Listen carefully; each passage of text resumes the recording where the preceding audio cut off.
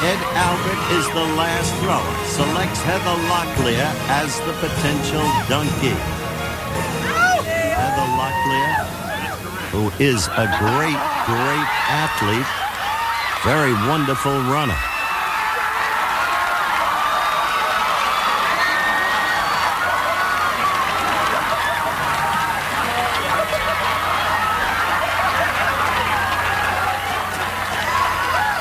What are you thinking about, Robert?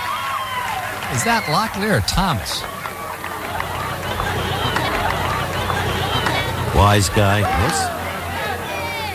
Take your time, brother. Take your time. Take your time.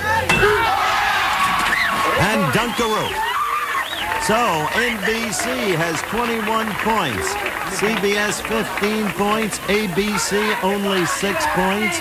And Has won the baseball dunk event.